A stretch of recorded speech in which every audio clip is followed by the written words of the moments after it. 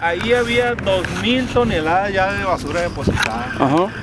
Y ahí este, se ha estado trabajando, se coloca basura de este lado y se pasa el relleno. Se descompuso un aparato, duramos un tiempo sin pasar la basura, pero no hemos parado de trabajar. Sí, la gente ha estado respondiendo y está, eh, insisto, muy, muy contenta porque pues a raíz de la denuncia que hicimos, miramos luego, luego al siguiente día eh, maquinaria, pero pues nos preguntábamos por qué, por qué estaban tirándola. Esa es la respuesta que me gustaría que, que- que le diera a la ciudadanía, por qué. Pues, incluso todavía queda sepultada aquí alguna presente. No, aquí no hay basura. ¿Ya no hay? ¿No? Ah, ok. No, nosotros este, desde que entramos a la administración hemos estado trabajando. Muy bien. Ustedes recordarán que cuando entramos al municipio, no, en muchas colonias no había agua, se debían 5 millones de pesos atrasados de agua.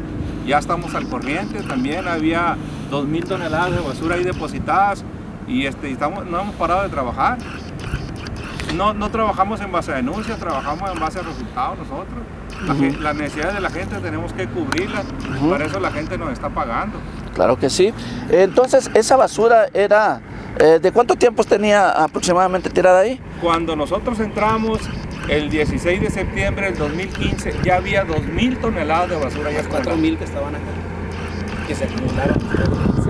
No es lo que, no, lo que salió con Juan Carlos Luis Olvera ahí que le declaró señor Encinares. Ajá, que había eh, Cuatro mil más. más aquí en que esta se parte. ahora. Ajá.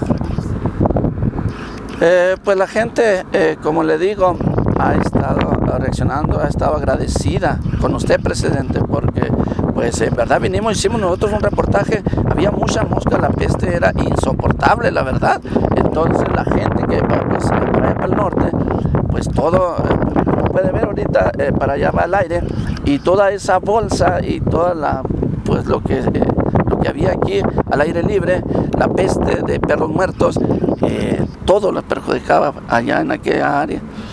Eh, volvimos otra vez con la gente y dijeron, pues ya, desde el viernes están trabajando, estamos contentos, ahora sí, gracias. Díganle al presidente que estamos agradecidos. Portales. Así es.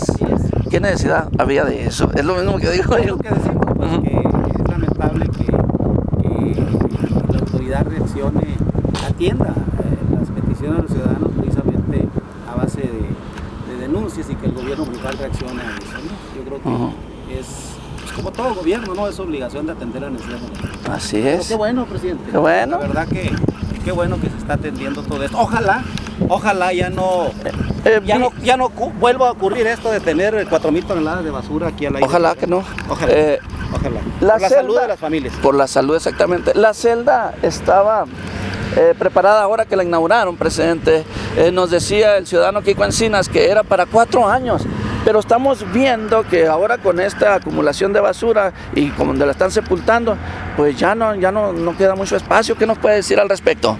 No, eh, la celda no está terminada, ¿no? Eh, son una- es una capa arriba del- de, la, de la tierra ¿Pa que otra? está echando, va otra capa de basura y se va a ir de tal grado que aproximadamente llegan las celdas a la altura esta de, A la altura de la de Pasa, de la que está enseguida. que ya debería estar esa basura. este, así es como se conforma una celda, son por capas. Y la cultura va quedando, la basura va quedando sepultada, pero sin mucha vida todavía. Sí. Eh, El equipo que traen ahorita aquí trabajando, por decir, la maquinaria esta, es rentada, es del ayuntamiento. ¿Los dompes de quién son? Eh, ¿Nos pudiera decir, ingeniero, usted? Eh, Sí, sí, eh, gran parte es del ayuntamiento y gran parte es prestada de muchos ciudadanos que se, Pero ¿de qué, ciudad, qué ciudadanos las prestan? diferentes ciudadanos de aquí de ¿Nos Guaprieta. podrías decir algunos nombres de ciudadanos? Eh, nombres sí, eh, Isidro Aguilar.